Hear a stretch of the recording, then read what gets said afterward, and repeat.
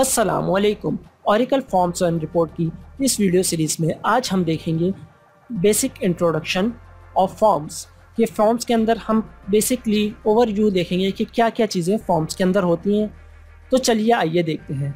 सबसे पहले आप फॉर्म बिल्डर को ओपन करें। देखिए फॉर्म बिल्डर में जैसे हर एप्लीकेशन में होता है नॉर्मली फाइल्स एडिट व्यूज़ वगैरह आपको फ़र्स्ट रॉ में वही मिलेगा। सेकेंड में आपको क्या मिलता है? न्यू फ़ाइल मॉड्यूल यानी कि अगर आप नया मॉड्यूल करना चाह रहे हैं तो डायरेक्ट इस बटन पे क्लिक कर लें, आप फ़ाइल से भी जाके कर सकते हैं। सही है फाइल्स और न्यू या कंट्रोल न्यू से सही है? उसके बाद आपको ओपन प्रोजेक्ट्स आ जाते हैं, यानी कि कोई आपका मॉड्यूल बना हुआ है, आप उसको ओपन करना चाह रहे हैं, वो यहाँ से आ जाएगा। सेव करना चाह रहे हैं किसी प्रोजेक्ट को तो सेव के बटन पे क्लिक करें प्रिंट करना चाह रहे हैं प्रिंट कट कॉपी इंपॉर्टेंट ये है कि डेटाबेस ये कनेक्शन के लिए। कंट्रोल जे इसकी शॉर्टकट की है। कनेक्ट करें। अपने डेटाबेस का यूज़र नेम पासवर्ड और डेटाबेस का नाम। तो ये कनेक्ट हो जाएगा। सही है? उसके बाद क्या आता है?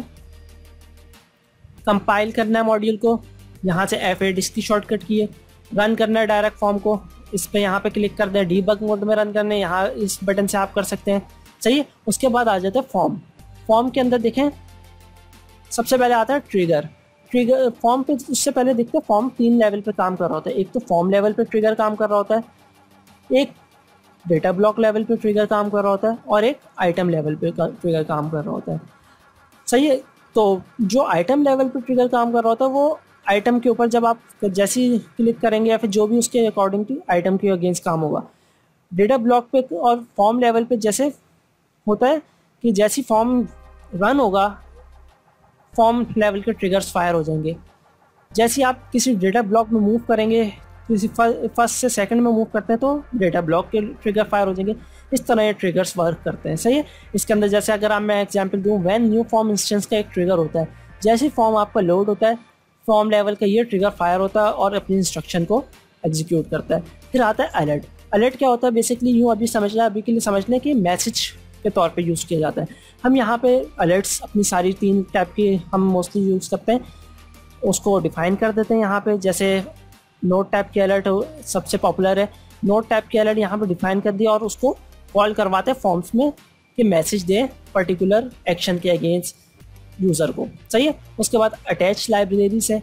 अटैच लाइब्रेरीज यानी कि आप कोई वेब लाइब्रेरीज वगैरह को अटैच करवाना चाह रहे हैं तो यहाँ से अटैच होती है। ये क्रिएट के ऊपर आप जो भी जो भी कुछ करना आपने ट्रिगर ऐड करवाना है ट्रिगर को सिलेक्ट करें, यहाँ से क्रिएट कर लें। यहाँ पे देखें फॉर्म लेवल के सारे ट्रिगर्स आ गए। इसी तरह आइटम्स वगैरह को हो गए तो हम आगे जैसे फ़र्स्ट एप्लीकेशन पे जाएँगे तो इसको देखेंगे। सही है? अभी मैं कट कर रहा हूँ।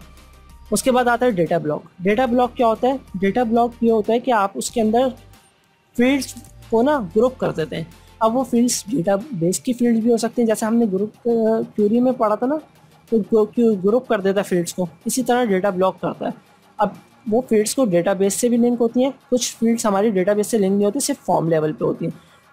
उसके बाद आता है कैनवस कैनवस क्या होता है? हमारी स्क्रीन्स होती हैं कि जो हम स्क्रीन्स ड्रॉ करते हैं वो, अब इसके अंदर क्या होता है? कंटेंट टाइप की भी मैं देख लेता हूँ, मुझे याद नहीं है कि किस किस टाइप की होती है। स्टैक होती है टैब होती है, इस टाइप की कैनवसेस होती हैं। सही है? उसके बाद आता है हमारे एल एल क्या होती है? List of values list of values basically कैसे वर्क करती हैं? जैसे मैंने ये टैक्स आइटम यहाँ से ड्रैग एंड ड्रॉप किया।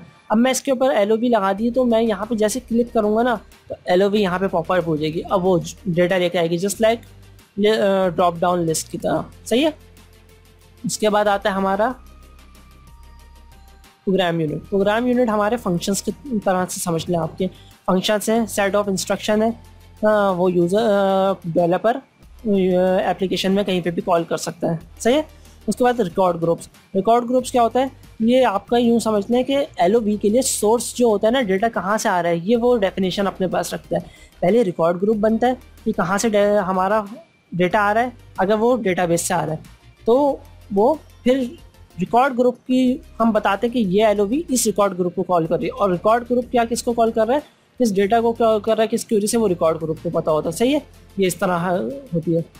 उसके बाद आता है विजुअल एट्रीब्यूट ये सारे विजुअल एट्रीब्यूट वगैरह जो क्रिएट होते हैं, ये आपकी विजुअलाइजेशन के लिए आते हैं कि इसके, इस विजुअल एट्रीब्यूट को हमने यहाँ पे डिफाइन कर दिया, इसकी स्पेसिफिक हमने बता दिया कि ये ये कलर होगा इसके अंदर ये फॉन्ट का होगा तो हम एक दफ़ा हमने एप्लीकेशन में ये डेफिनेशन इसको प्रोवाइड कर दी। फिर क्या करेंगे हम, हर आइटम को जैसे अगर करना है तो मुझे हर आइटम के लिए डिज़ाइनिंग नहीं करनी होगी। मैं क्या करूँगा, उस विजुअल एट्रीब्यूट को कॉल करवा दूँगा उस पर्टिकुलर आइटम्स के लिए।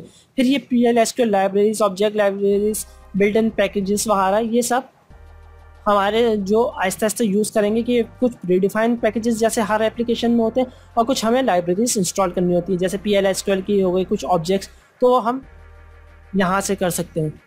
सही है? अगर कोई क्वेश्चन हो तो आप कमेंट में पूछ सकते हैं। आज की वीडियो में इतना ही। अगर वीडियो अच्छी लगी हो इस चैनल को सब्सक्राइब कर लें, लाइक कर दें। मिलते हैं नेक्स्ट वीडियो में। अल्लाह हाफिज़।